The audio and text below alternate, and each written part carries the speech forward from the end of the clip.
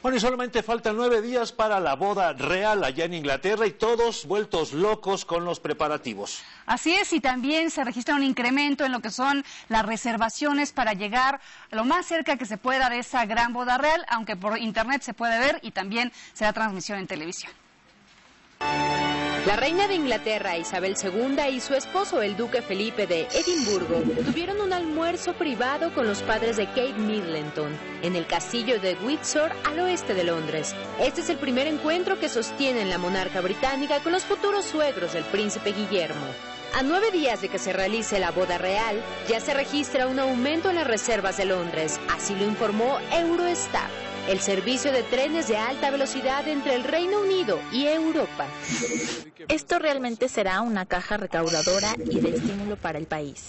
Creo que la pareja Kate y William son particularmente atractivas, así que creo que la gente quiere venir y disfrutar del ambiente de fiesta. Vengan y disfruten de Londres y también obtengan un poco del patrimonio y la historia y todas las atracciones de la ciudad que tienen que ofrecer. El número de personas que viajarán a Londres entre el 28 de abril y el 2 de mayo es un 30% más que los pacientes que se registraron el año pasado. Estados Unidos ocupa uno de los primeros lugares en la adquisición de paquetes turísticos para presenciar la boda real. Creo que Londres va a estar muy, muy, muy visitado. He estado dando vueltas en algunos de los hoteles de Londres y todos están muy, muy positivos.